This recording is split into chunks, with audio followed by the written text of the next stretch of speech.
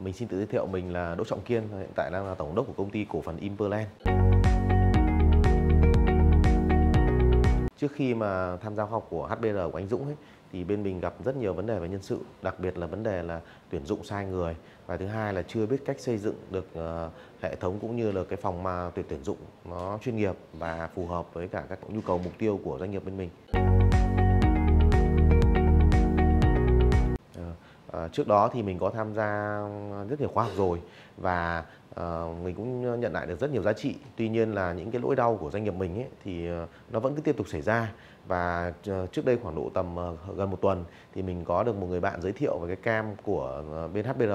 và sau khi học cái cam đấy thì tạo ra mình cái trải nghiệm rất là tuyệt vời và mình tin tưởng HBR và mình tham gia vào cái khóa học tiếp theo của anh Dũng.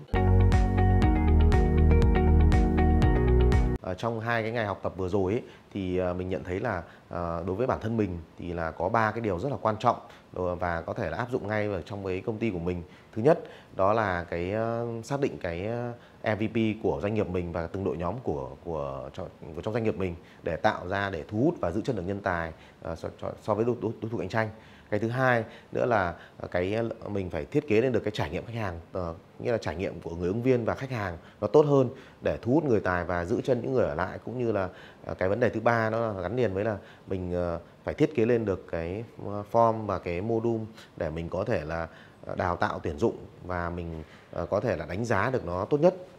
Đấy là cái ba cái điểm quan trọng mà mình nhận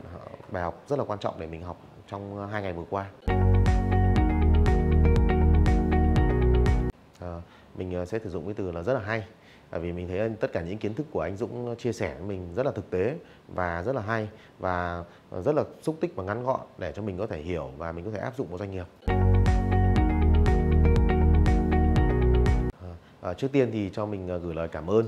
đến trường HBD Holding và đặc biệt là anh Dũng đã chia sẻ những kiến thức rất là hay, bổ ích và rất thiết thực Ờ, cô động đến ờ, cho bản thân mình và cho tất cả anh chị em tham gia ờ, trong khóa học. Thứ hai là tạo ra cái môi trường gắn kết giữa các cái chủ doanh nghiệp và riêng đội nhóm mình thì đã ăn trưa với nhau rồi kết nối với nhau qua group. Cái thứ ba là anh Dũng đã giúp cho mình thay đổi được cái tư duy về mặt nhân sự và cũng đã hiểu về cái việc là mình phải làm cái gì. Và đặc biệt hơn nữa là để cho mình hiểu ra là à làm một người xếp giỏi thì phải giỏi về cả nhân sự và tài chính. Thì đây là ba cái điều mình rất là tâm đắc và gửi lời cảm ơn đến HBR và anh Dũng. Cảm ơn anh Dũng HBR rất rất là nhiều.